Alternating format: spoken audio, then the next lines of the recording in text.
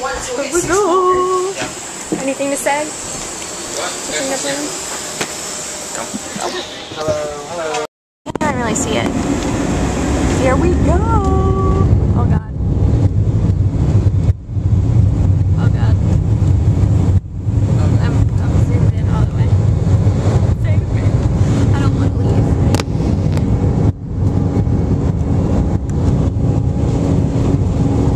I know. You can't e- like I tried zooming in, but you can't.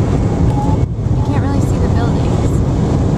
Maybe when we're over it, it'll look better. Like when we're over sitting. Yeah, see that looks good. Now you can see it. Oh god. Here we go. Bye Boston.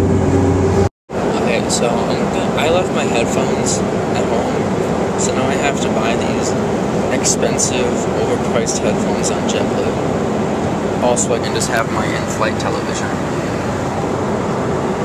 That sucks. Story of my life. Meanwhile, I'm watching Bones.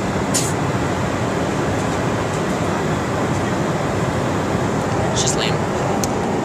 But my good friend Becca is over there reading.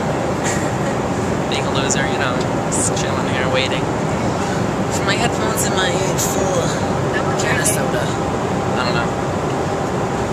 Hopefully like two bucks. I'm hoping they're like two bucks. I can't afford much more than that. Well, neither can I. Hey, see that out the window, Katie? Do you see that? I don't see anything. Nope, nothing. Nope. You can see like the flashing light of the wing. Great. I hate night flying. Now I can understand why JFK Jr. flew right into the sea. Inappropriate. Too soon. What? Too soon. It's been 13 years. Too soon. I just, I don't like night flying. Look, Yet Walmart, Katie, our favorite store. Katie just insists on booking night flights. I don't like them. Nope, I'd rather get out of here bright and early in the morning. Nope. Not Katie. She's more of a night owl. That one. Not please. I got a bit sore. Well. And we also have to shell out 60 bucks a piece just so we can get home because there's no shuttle taking us back to school. So that money I made for Easter? What money? And we're not going to be getting back What to school money? until 1 in the morning. We're not going back to school till 1 o'clock in the I morning. have an early class tomorrow. Yep. And I can't skip it because I already skipped it on Thursday. So, See, it's just a lose-lose scenario.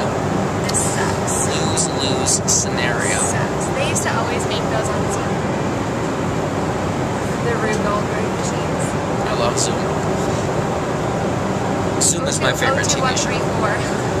That was their zip code. They used to s- 02134.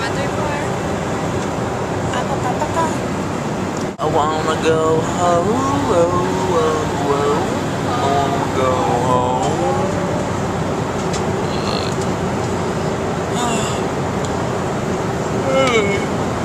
so tired. So tired.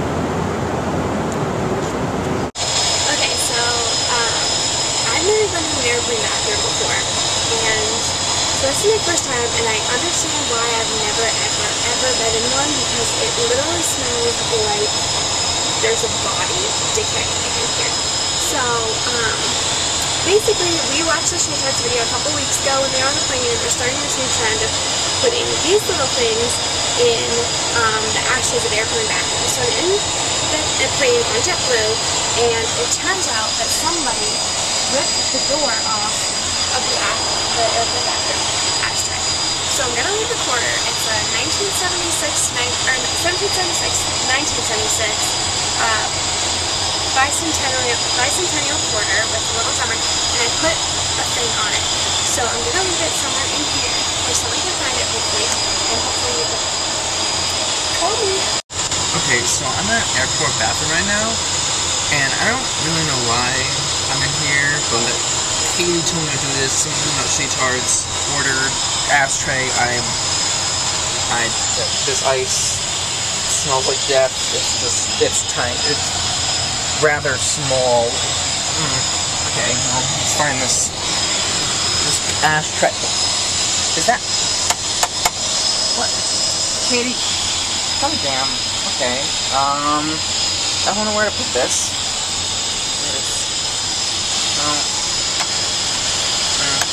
I gotta leave it there. That's stupid. I? What is the point of this? I don't. Katie, I don't just leave it there. That's stupid. Someone's gonna take it. I don't. I really don't understand the fucking. Not. Mm, mm. Sorry. Sorry, I'm not sorry. Sorry, Katie. Okay, here you go. That.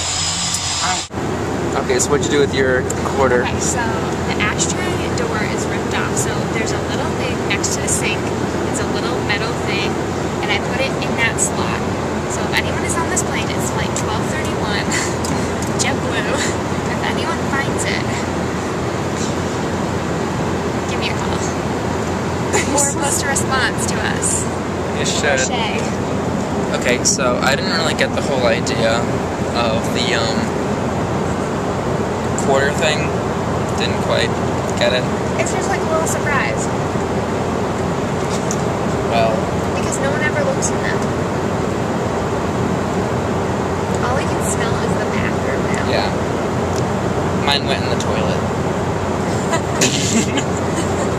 I didn't know what it was for when I got mad. There was no ashtray, so I just kind Well, of. there was an ashtray, but Yeah, but it wasn't there. I wasn't just gonna leave it in the there might be doorway. the back, but I'm afraid because I've never been to. But I can understand why I've never been to an airplane bathroom now. Yeah, they're tiny. Literally, just the most disgusting place I've It's like a porta potty, ten thousand feet in the air. But stank, like, and I'm afraid like it's Smells like a porta potty. out, like it doesn't even flush or anything. Did you take Disgusting. poop? When I was little, I Did you poop in them? what? Did you poop in it? Yeah. no, no. I was gonna say. I literally stood and hid my quarter and left.